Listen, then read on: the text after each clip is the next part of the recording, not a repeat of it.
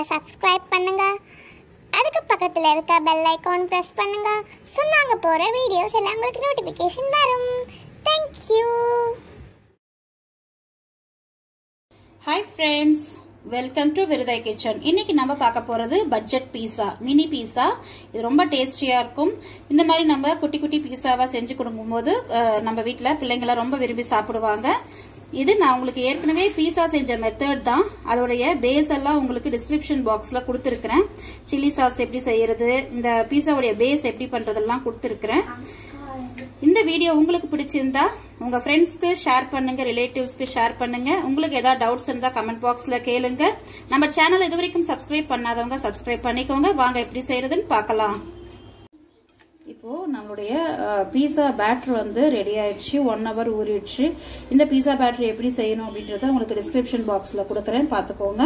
அதில் இருந்து நான் வந்து ஒரு சின்ன பால் சின்ன பாலில் நம்ம சப்பாத்தி மாவை விட இன்னும் கொஞ்சம் அதிகமாக நான் எடுத்திருக்கிறேன் சப்பாத்தி செய்கிற அளவு விட.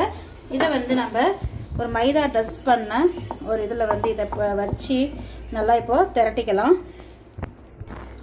நம்ம நம்ம சப்பாத்தியை விட வந்து நம்ம கொஞ்சம் மொத்தமாக இதை வந்து நம்ம தேய்ச்சிக்கணும். சப்பாத்தி மாதிரி மெலிசாக தேய்க்கக்கூடாது. இப்போ இதை மாதிரி தேய்ச்சதுக்கப்புறம் ஒரு டம்ளர் எடுத்துக்கோங்க. எடுத்து அதை இதை வந்து இப்படி கட் பண்ணி எடுத்துக்கலாம் நம்ம பீஸாவை. இது வந்து மினி பீஸா இல்லைங்களா? பட்ஜெட் பீஸா ஸோ இது மாதிரி நம்ம சின்ன சின்னதாக கட் பண்ணி எடுத்து இப்போ ஒரு பிளேட்டில் வச்சுக்கலாம். இந்த மாதிரி நம்ம எல்லா பீஸா பேட்டரையும் இந்த மாதிரி நம்ம தேய்ச்சி நம்ம ஒரு டம்ளர் வச்சு கட் பண்ணி கட் பண்ணி எல்லாத்தையும் எடுத்து வச்சுக்கலாம். நம்ம இப்போ இந்த மாதிரி நம்ம பீஸா பேட்டர் வந்து கட் பண்ணி எடுத்துருக்குறோம் இல்லைங்களா? இதுல வந்து ஃபோக் வச்சு நம்ம இப்படி ஹோல்ஸ் கொஞ்சம் போட்டுக்கணும். நம்ம அங்கங்க எல்லாத்துலயுமே இதே மாதிரி போட்டுக்கணும் ஃப்ரெண்ட்ஸ் போட்டுட்டு இப்போ வந்து நம்ம இதை வந்து பேன்ல வந்து ஹீட் பண்ணிக்கலாம். இப்போ நான் வந்து ஒரு பேன் வச்சுருக்கிறேன். இது வந்து ஆயில் எதுவும் போடலை. நல்லா சூடானதுக்கப்புறம் ஃபுல்லாக ஃபுல்லாக மீடியம் ஃப்ளேம்ஸ் லோவில் வச்சிடுங்க. ஃபுல் லோவில் வச்சிடுங்க.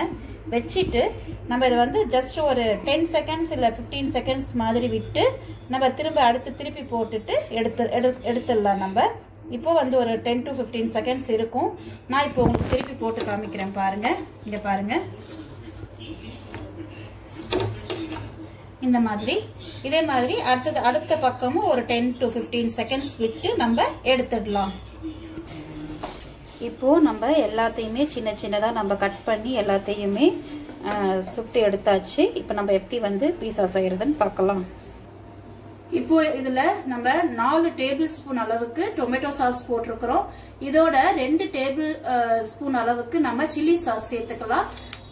டொமேட்டோ சாஸ் வந்து நான் கடையில வாங்கினது தான் சில்லி சாஸ் எப்படி செய்யறது அப்படின்றது உங்களுக்கு டிஸ்கிரிப்ஷன் பாக்ஸ்ல கொடுக்குறேன். பாத்துக்கோங்க இப்போ இதெல்லாம் போட்டு நல்லா மிக்ஸ் பண்ணிக்கலாம். இப்போ நம்மளுடைய இன்ஸ்டன்ட் பீஸா சாஸ் வந்து ரெடி ஆயிடுச்சு. இப்போ நம்ம எப்படி பீஸா செய்யறதுன்னு பார்க்கலாம். இங்க காமி. இப்போ நம்ம வந்து குடமிளகாய் தக்காளி சீஸு அதுக்கப்புறம் வந்து ஸ்வீட் கார்ன் ஸ்வீட் கார்ன் வந்து நான் பாயில் பண்ணி வச்சிருக்கிறேன்.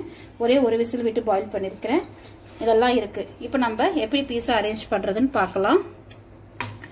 நான் வந்து இப்போ ஒரு ஒரு நாலு பீஸா இதில் வச்சுருக்கிறேன். ஃபர்ஸ்ட் இது மேலே வந்து நம்ம ரெடி பண்ணி வச்சிருக்கிற பீஸா சாஸை இதில் ஃபர்ஸ்ட் ஸ்ப்ரெட் பண்ணிக்கலாம்.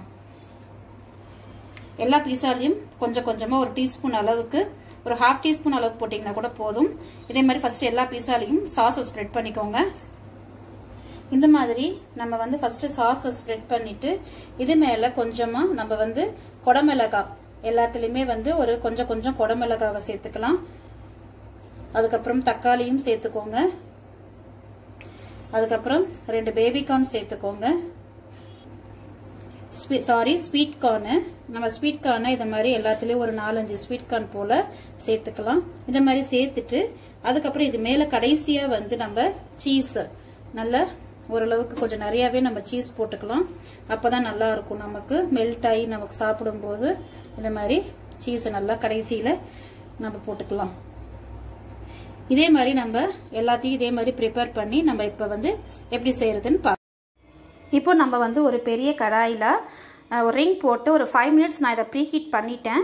இதில் வந்து இப்போ நம்ம ஒரு பிளேட்டை ப்ளேஸ் பண்ணி சில்வர் பிளேட்டை இதில் வந்து நம்ம ரெடி பண்ணி வச்சுருக்குறோம் இல்லைங்களா? மினி பீஸா அந்த மினி பீஸாவெல்லாம் இதில் நீங்கள் ஃபஸ்ட்டு ப்ளேஸ் பண்ணிக்கோங்க.